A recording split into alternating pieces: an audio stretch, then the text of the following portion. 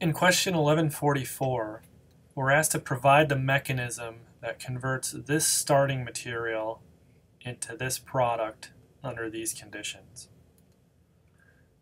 Again, keeping with our strategy, we're going to classify the starting material.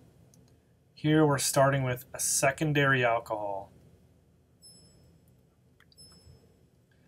The product, we're ending up with an alkene that's tetrasubstituted.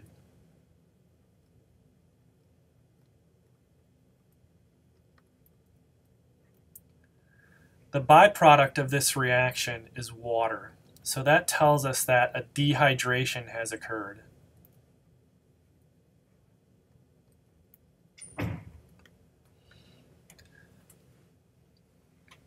So anytime we see an alcohol in the presence of an acid, the first thing we want to do is protonate the alcohol. So in the curved arrow formalism, the arrow starts at the lone pair and ends at the electrophile. We're going to form an oxygen-hydrogen bond.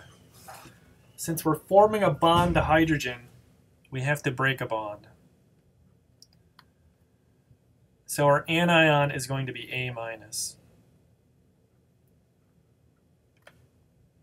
So under these conditions, we protonate the secondary alcohol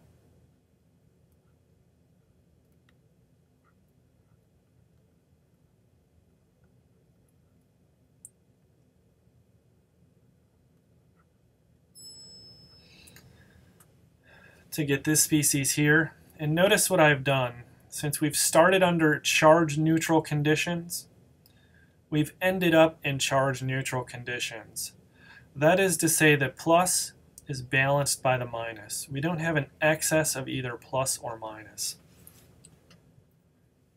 The next step in this is going to have water as the leaving group. So we're going to break this carbon-oxygen bond.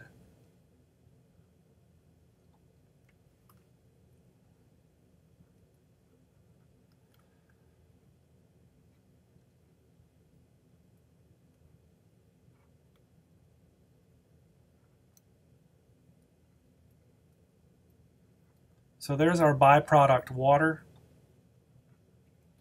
We still have our counter ion A minus in solution. Now let's classify this intermediate here. So it's a secondary carbon bearing a positive charge, so it's a secondary carbocation. Recall that from Organic Chemistry 1,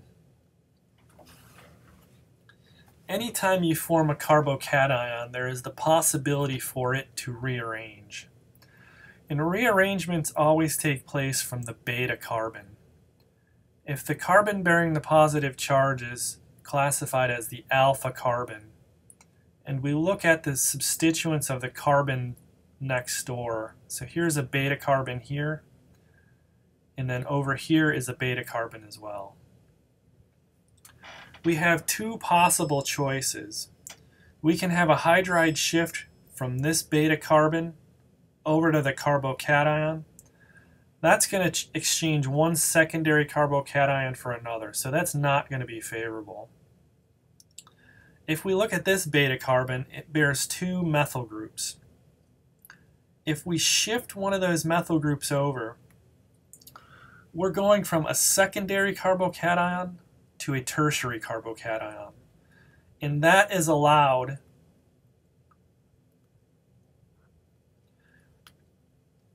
because a secondary carbocation is more stable than a tertiary carbocation.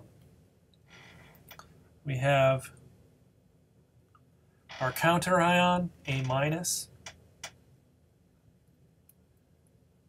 And then if we look at how this structure relates to the product, all we have to do is an elimination. So the final step is an E1 elimination.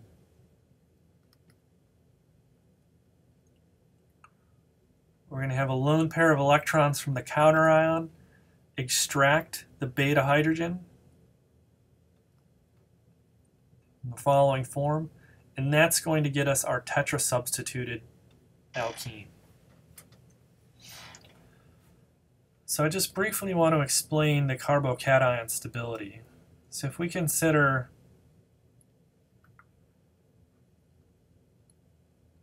energy versus coordinate here,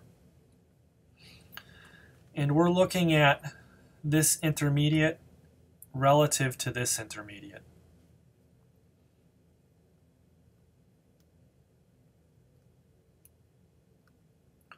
So here's our secondary carbocation, here's our tertiary carbocation.